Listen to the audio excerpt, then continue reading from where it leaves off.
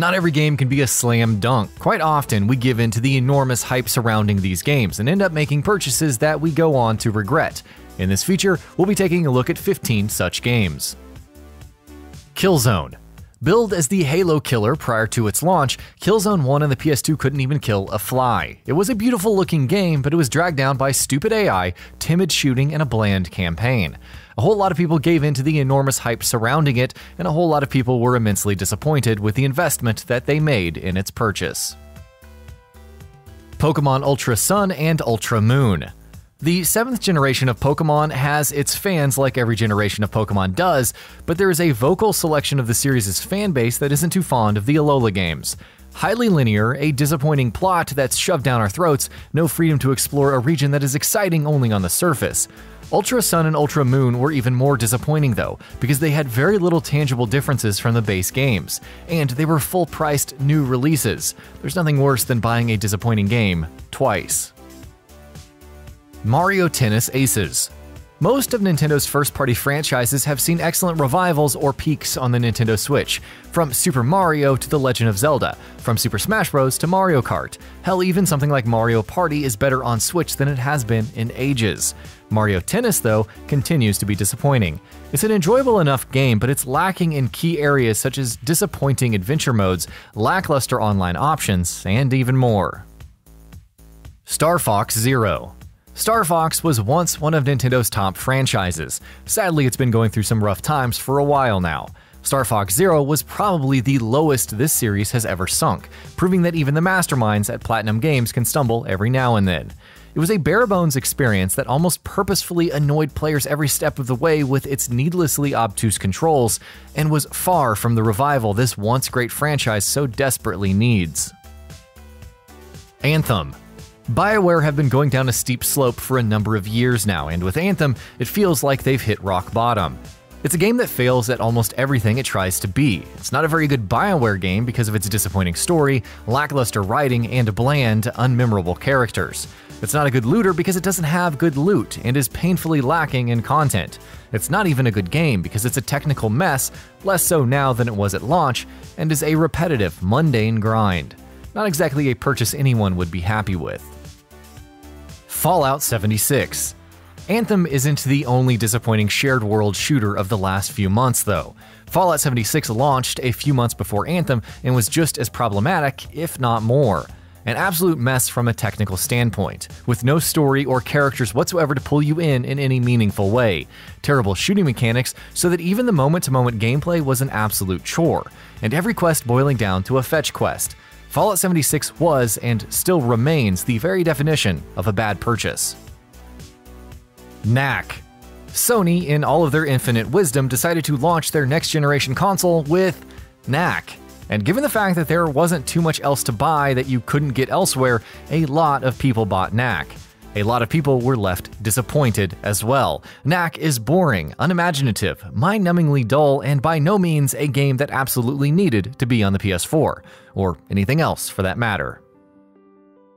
Resistance Burning Skies the PS Vita didn't receive installments from all of Sony's major franchises, with some like Ratchet & Clank and God of War skipping the handheld. But even those that did grace the system's library didn't always hit their mark. While some, like Uncharted and Killzone, delivered solid enough entries, others, like Resistance, delivered absolute travesties. And a travesty is what Burning Skies was, a far cry from the quality of the PS3 trilogy that spawned it. State of Decay 2 State of Decay on the Xbox 360 was by no means a home run, but it was a solid enough game that you could play for hours on end without getting bored of it. State of Decay 2 had the opportunity to follow up on its predecessor by strengthening upon its foundations and it did not do that. It proved to be much more repetitive and monotonous of an experience, plagued by a plethora of technical issues and failing to capitalize on the potential of its premise. It's not like there was no fun to be had here, but you had to take the good with the bad, and there was a lot of bad.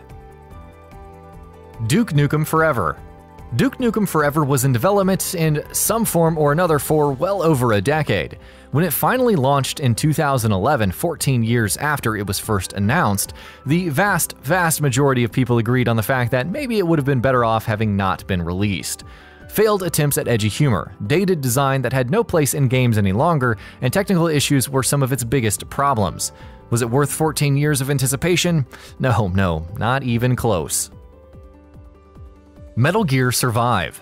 Metal Gear Solid 5 was controversial enough as it is, and that's in spite of the fact that, by and large, it was an excellent game with a brilliant systemic open world that encouraged emergent gameplay.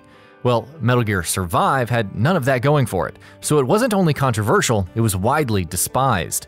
Why this game bears the Metal Gear moniker is a question that shall forever remain unanswered. Either way, it's a purchase that all fans of the series regret with all of their hearts. Halo 5 Guardians.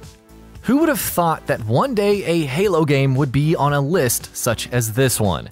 343 Industries are looking to make amends with the upcoming Infinite, but they landed in hot water with Guardians, a game that seemed to lose much of what made Halo Halo. Its online offerings were solid enough, but the campaign was an absolute embarrassment, and we are not the only Halo fans who wish it had never happened. Crackdown 3 Crackdown 3 was in development for several years and was delayed multiple times. What we got was not at all a game that required all of that time to be made. What we got was a lifeless, dull, unimaginative game that would have been regressive and boring even 15 years ago. Crackdown 3 promised a lot, but lived up to none of its promises. Thankfully, it's a Game Pass title, so many didn't have to purchase it, but those that did, no doubt regret their decision.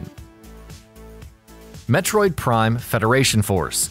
We've been clamoring for a new Metroid Prime game for years, and finally, Nintendo listened to our demands and gave us Federation Force, a co op first person shooter that bears very little resemblance to actual Metroid Prime games and doesn't even stand on its own two feet as a good game. In the words of Adam Jensen, we never asked for this. Brink. Brink had the potential to be something truly special. It's fair to say that it didn't live up to that potential. While conceptually and in terms of art style it was fresh and exciting, its execution was shoddy, and what we ended up with was an unfinished and unpolished game that just couldn't do justice to so many of its excellent ideas. And that about does it for this video. If you enjoyed what you watched and want to see more from Gaming Bolt, you can always hit that subscribe button and turn on the bell icon next to it. That way you will never miss any of our videos.